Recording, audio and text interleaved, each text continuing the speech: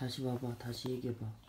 이 얘는 이거는 콩, 이거는 이거는 곰, 그리고 이거는 코끼리, 이거는 뭐야?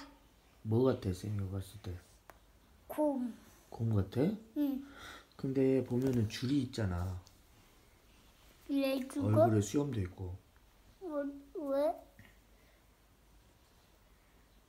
호랑이 아닐까 호랑이? 호랑이 그리고 이거는 곰, 그리고 이거는 코끼리, 그리고 이거는 호랑이.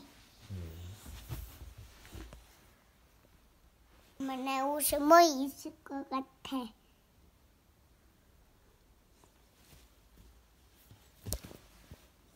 이거 세개 거 곰이 있네. 그리고 이것도 곰. 이거는 곰. 이거는 코끼. 그리고 이거는 호랑이.